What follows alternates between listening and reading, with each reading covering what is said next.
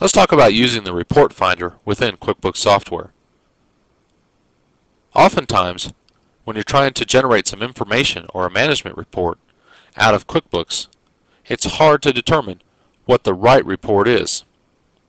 Sometimes you can go through and print report after report to try and find which report gives you the information you're looking for.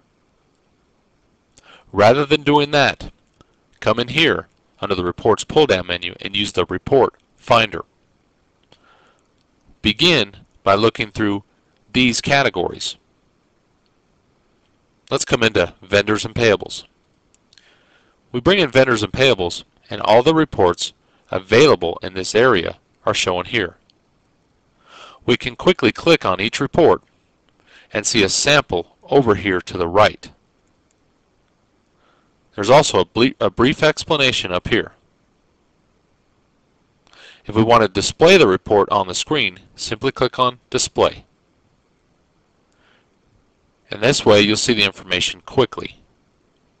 If this isn't the report you want, close this window and you're back at the report finder.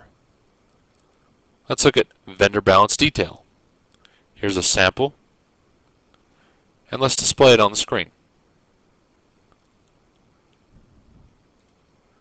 This is the best way to find the report that you're looking for within QuickBooks software.